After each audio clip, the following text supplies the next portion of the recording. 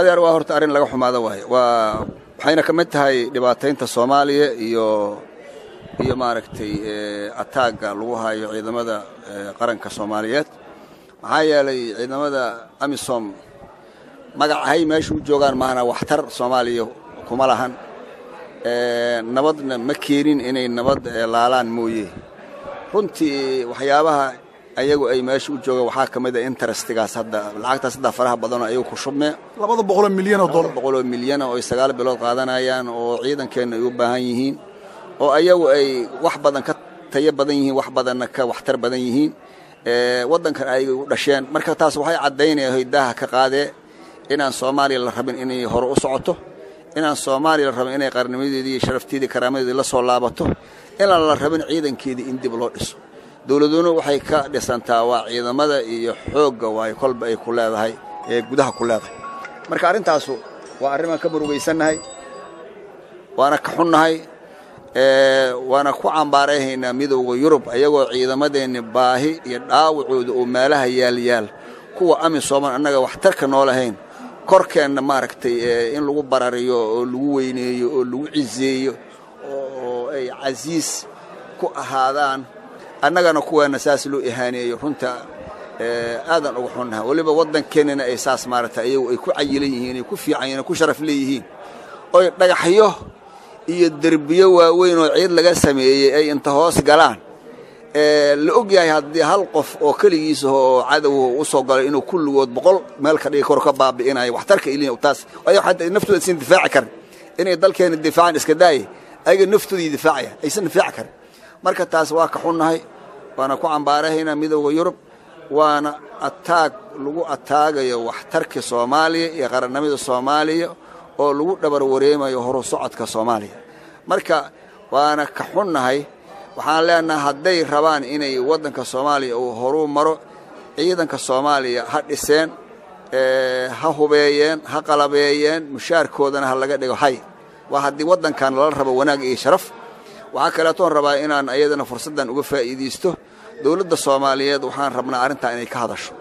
Maxaa yeelay annaga amisom ciidan noo maahan dalkeenna masiirkiisa iyo sharaftiisa karaamadiisana kuma aamini karno.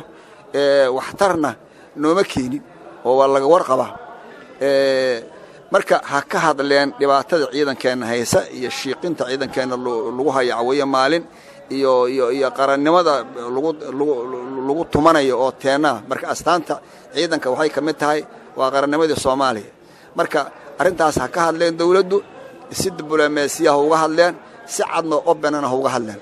Annaguna haddaan dhanka soomaaliyeed waa ka dhiidhinaynaa mana aqbali doonno midowda yurubna arrintaas ka aqbali mayno inay sidaas ciidankeenna ay maarata u bahdilaan ee korkeennan u cayiliyaan.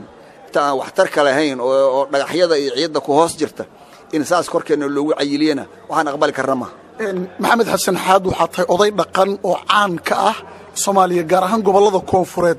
Shirar badanna waad ka hadashay oo madaxda ugu sarraysa dowladda iyo dibad iyo gudaba.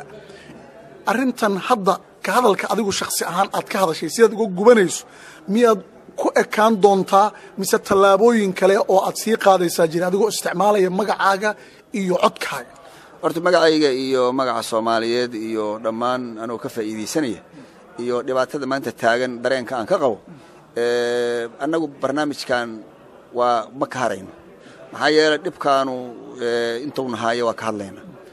Ilaa uu xalka helaya waa ka hadlayna. Waxaan rabano kadhaabnoona inaan ku qabadsiino ummadda soomaaliyed meelay joogtaba.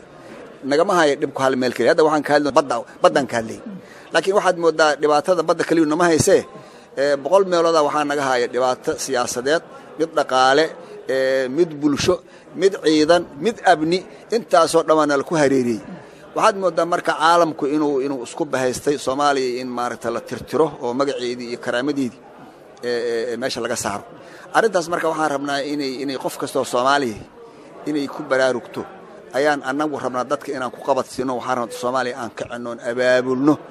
Meesha nala ka hayahay ma ahan dadka waa laysku diray. Waxaa nala soo dhexdhiga waxaanan kabasit u lahayn oo aanan oqoonin oo wax nooga bilownayn oo la yidhaahdo federaalism oo haddana la qabiilaysado loogu diriro xuduudihiisa lama samayn nidaamkiisa dadka lama barin tababara lama samayn. Waxaa la yidhi waa un koraa nalo kaga keena waa naloo soo sameeyey. Dabadeedna waxaa nalaku waa nalaku maashiyey marka waxaa nalaku haystaa waa waa waa waa fara badan yihiin haddeer midda aan meeshaan kaga hadlaya culays hadda soo kordhayo maanta hadda iyo kow tahay weeye.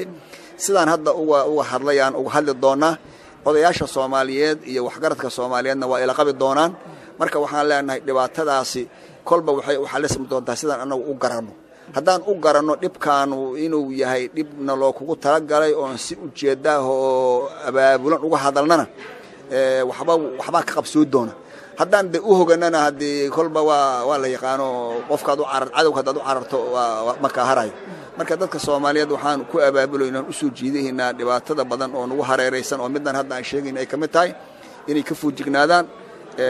Muxuu ahay dareenkoodana ay bannaanka dhigaan ay ka mudaaharaadaan dowlad goboleedyada iyo degmooyinka iyo waddankao dhan dibadda iyo gudaha dadka jahliyadda bannaanka jooga iyo mataqana qurba joogta iyo ummadda soomaaliyeed meelay joogtaba.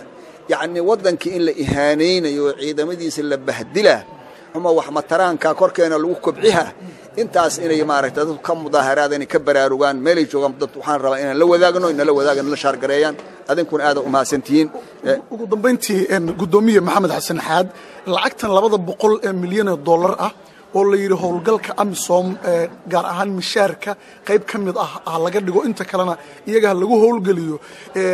Ciidamada kenya oo dhowr kun ay ka joogto soomaaliya gaar ahaan gobollada jubbooyinka ayaa qayb ka mid ah lacagtaasi ay aadaysaa sida muuqata. Kenya iyo soomaaliyana waxa hadda ka dhaxeeya iyo in ay baddii soomaaliya iyo suhdimihii ku soo xadgudubtay waad dareemi kartaa. Marka taas bal qiyaas iyadana maxaa ka iman kara wallaahi waxay ka mid tahay hadda lacagtaas faraha badan oo lagu soo lagu soo wado. Waxay ka mid tahay dhulka annaga kenya inay naga dhacdo ay rabto ama biyaha inay naga dhacdo ay rabto inay ku sii xoogaysato. Sababteediyaa lacagtaanu ka mid tahay. Waxaan rabnaa marka in nala qabsanaa oo baddii nala ka qabsanaa oo hawadii nala ka qabsanaa oo berriga nala ka qabsanaa oo dhaqaal nala ku qabsanaa yacni inaan ognahay yaa la rabaa hon saas aan ku baraarugna. Oon dawlad iyo iyo shacabba aan arrintaas ognahay. Marka waxaan rabnaa dadku inay shuxuurtooda wadaniyad muujiyaan. Dadku inay ka hadlaan dhibaatada nagu hareeraysan oo kow iyo laba haddii la yidhaha aan la koobi karin. Annagu marka waxaan leenahay dhulna noo beec ma ahan. Sharaftayda karaamadeeda qarannimadeennina noo beec ma aho cidna waxba ka gorgorootami mayno marka waxaan soo jeedinaynaa inaan maaragtay dadka soomaali aanay kadsoomin inaan loo maqnayno lagu maqan yahay inay ogaadaan. Waxaan ognahay ciidamada hadda howlgalkooda waxaa laga sheekanaya waxba iskama bedeli doonaan. Siday hadda yihiin haddii bilyan dollar la geliyo waxay iska bedelayaan male godadkay ku jiraanay ku jiraayaan ciidda ku wareegsanaa ku wareegsanaahe. Mashruucun maba ahaba inay meeshaan wax ka taraane. Waa inay maaragta annaga na gumeeyaan na dhibaan ay meesha u joogaan laakiin waxaan la sugaynaa maalintii dadka soomaaliyeed meelay joogaan bay arrintaa ku baraarugaan ay ogaadaan culaysna kor saaran inay yihiin. Maalintan kabacdina inaanan dul qaadan karin dadku markay dareemaan markaasaan la sugaynaa haddii alla waxaana rajeeyaynaa dadka soomaaliyed meelay joogaanba dareenkaasu inuu inuu mar uu saamayn ku yeelan doono meelay joogaanba mahadsanid caaqil maxamed xasan xaad guddoomiyaha golaha dhaqanka iyo midnimada beelaha wiye oo si adag uga hadlay arrinta ku aadan laba boqol oo milyan oo dollar oo ciidamada amisom iyo howlgalladooda midooda yurub ay ugu deeqeen